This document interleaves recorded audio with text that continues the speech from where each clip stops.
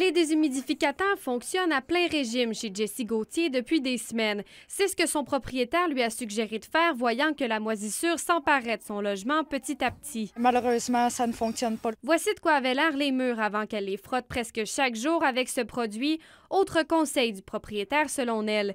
Il y en a dans toutes les pièces, surtout dans le garde-robe de son fils d'un an et demi. Elle craint d'ailleurs pour sa santé à lui, la sienne et celle de ses animaux. Mon garçon, à peu près aux deux semaines, euh, fait de la fièvre. euh, parfois, il y a de la misère à respirer. Comment vous savez que c'est dû à, à la moisissure?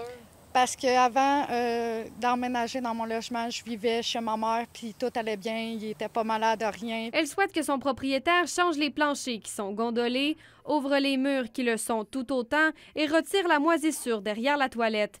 Mais pas avant l'été prochain, selon ce qu'elle retient de leur conversation. Impossible de le joindre par téléphone.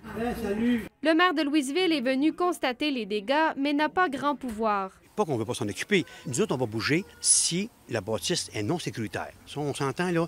Les balcons, c'est dangereux. Le, le- exemple, le plafond peut, peut s'effondrer. Là, on va bouger. Chez Infologie Mauricie, les cas de moisissure dans les logements sont beaucoup plus fréquents cet été que l'été dernier et surtout depuis le passage de la tempête débit. Des problèmes de, de moisissure ou d'insalubrité, là, ça, on en a, euh, je dirais peut-être justement par semaine, euh, peut-être une dizaine. là. Les gens qui nous appellent, c'est parce que là, il n'y a rien qui se passe. là. Même si la Régie du logement suggère à la locataire de déménager, impossible de trouver un logement au même prix. J'ai fait des démarches euh, pour euh, HLM. Madame Gauthier se retrouve dans une impasse. Même l'aide aux sinistrés après la tempête des billes ne lui est pas destinée car elle n'est pas propriétaire.